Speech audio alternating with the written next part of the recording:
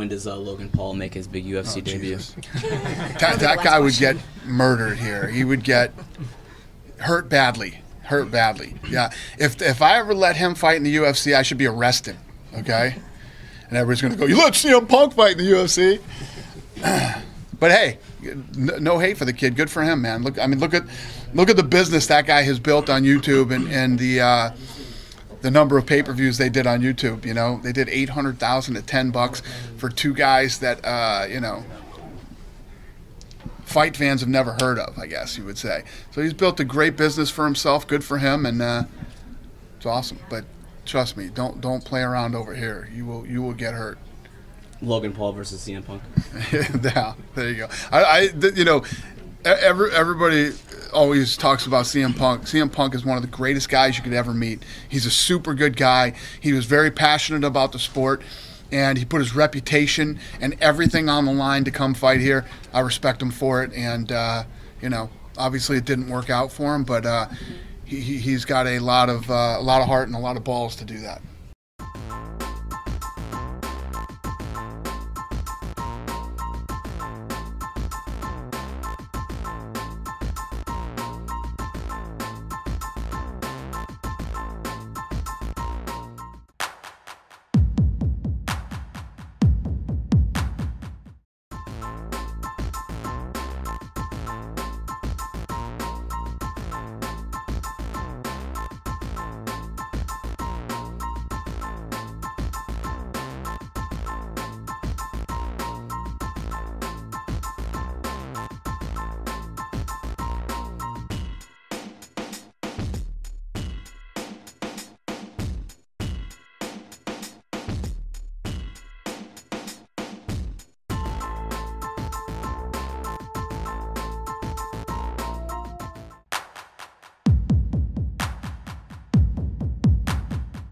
Uh, I guess looking at you as an expert, what do you make of his takedown defense? Nah, his takedown defense is what it is. He doesn't really have takedown defense. He tries to run and bail and do athletic stuff and try to roll across his head, try to create a scramble, but it's not like he's out here stuffing takedowns.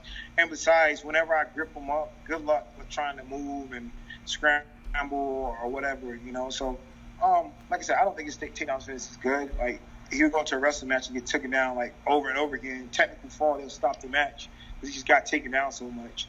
But um, like it, it's funny because he talks a lot, but he has a lot of holes in his game. Like I don't really have any holes in my game. I just get greedy sometimes. Like I go out there and I'm like super aggressive, which is stupid. But I mean, it is what it is. You hear a lot of middleweights in the UFC complaining about, oh, I don't make enough money. I'm not complaining about that because I get crazy sometimes, and the UFC likes the craziness. The fans want to see the craziness. So I look back and I'm like, man, okay, all right, you need to tone it down a bit because you get all off balance just trying to knock people out. You know, I have great technique. You know, it's just sometimes I get a little, little greedy, a little, little gamble, just gamble a little too much out there instead of just sticking to it. So I like this because I have a guy that I can't get greedy against, just like Anderson Silva. Okay, that fight didn't go my way. I won the fight, but I got jerked on a decision. But I wasn't super aggressive because I had a guy who I couldn't be super aggressive with. Lyoto Machida, I couldn't be super aggressive with. Uriah Hall, Uriah Hall, I couldn't be super aggressive with. So those guys I all did fine with. Okay, this guy is a maybe a tad bit quicker Anderson, but less MMA awareness, uh, less ju- no jujitsu. Anderson Silva, you take him down on the ground, this guy is nasty on the ground. You have to worry about a lot of stuff coming. You know how to slow down your punches. You know how to throw elbows from the bottom. Um, he- he's just he's just super veteran. This guy has nothing on, on his back. You know, what I mean, he's, he's basic. I see him throw up a triangle. It didn't look half bad, but I'm not really worried about catching me in a triangle. I'll pick him up and spike him on his head. So, um, yeah, just definitely looking forward to the fight.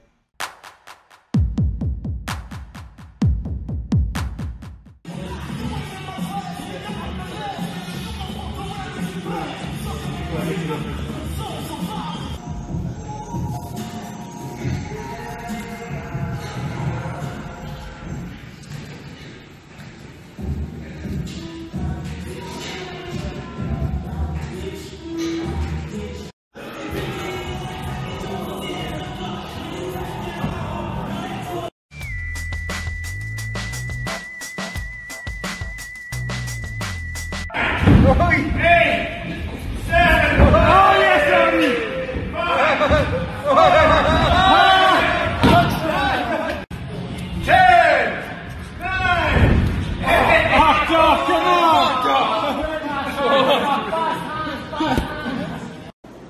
Keep going. So what is it? So this is a, it's a running track. It's submerged. It's underwater. Lowers you down, you run underwater. You know, Right. your chest. Then you got the. We got some sauna going on here? Huh? Nice. We're gonna try that. The red, red is good. It's not hot. It's just red. What does it do? Make sure it's hot. It's all just all of the recovery part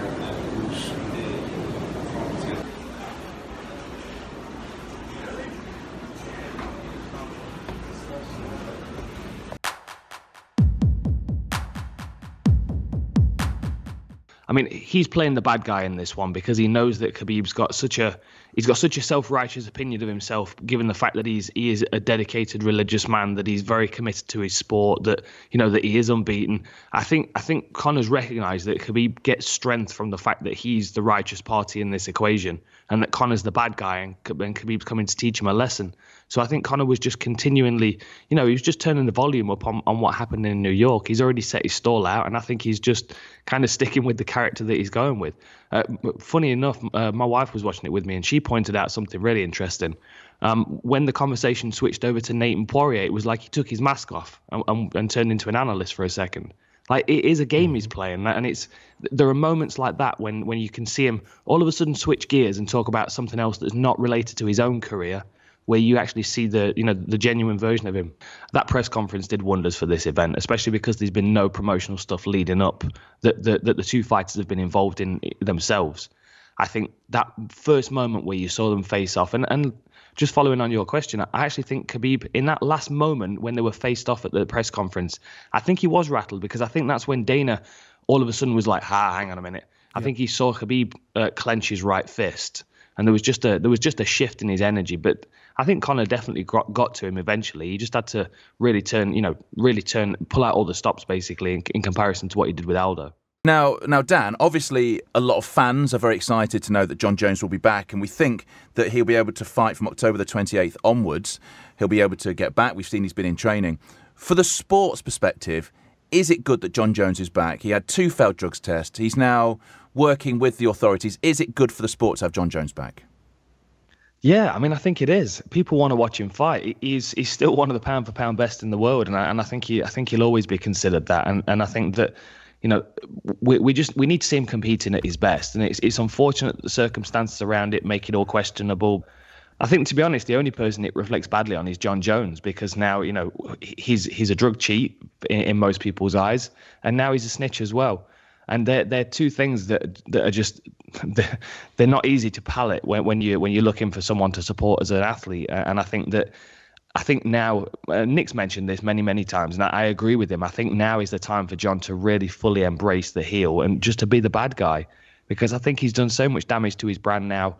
Um, you know, by, by the choices that he's made, that I, I don't think he can come back and be the righteous party in this equation again. It just makes me want to watch him more. It absolutely does. I, lo- I love the whole heel thing. It's al- it's almost on the verge of being wrestling. How we've seen his character change, this storyline change, and it is a storyline from being that Nike-sponsored athlete who was the golden boy, he was the future of mixed martial arts, to getting caught bad mouthing Jon Jones, uh, bad mouthing Daniel Cormier when he thought he was on camera. Now to be a snitch and a drugs cheat.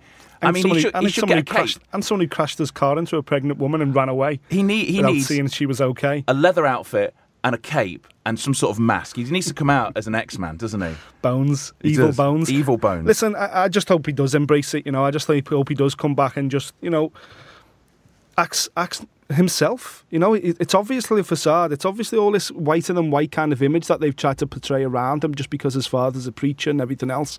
It's completely and utterly blew up in their faces. And I just think Jon Jones needs to come back, allow the world to see him from what he is. He's the bad guy. Let him play the bad guy. Put him in with Daniel Cormier because you know what? Jon Jones becomes heavyweight champion of the world and we'll have a bad guy at the top of the tree. Is that bad for business? Absolutely not. So the question is, do we see Jon Jones versus Daniel Cormier 3? We've got to. I think we've got to. I think DC won't let it go. DC will want it on his ledger before he retires. And Jon Jones thinks that's easy money and an easy way to win the heavyweight title. It will happen, but it will happen at heavyweight. Dan, do you think we'll see it? Yeah, I do. I think, I, to be honest, I think DC will still push for it, and, and I think that the, the, he recognises the fact that um, he's being held back in the pound for pound rankings because of of his relationship with Jon Jones. I think people will always have that question in the back of their mind, and even if it's a subconscious decision, they won't put DC at the top of the pound for pound rankings while Jon Jones is is floating around and possibly competing.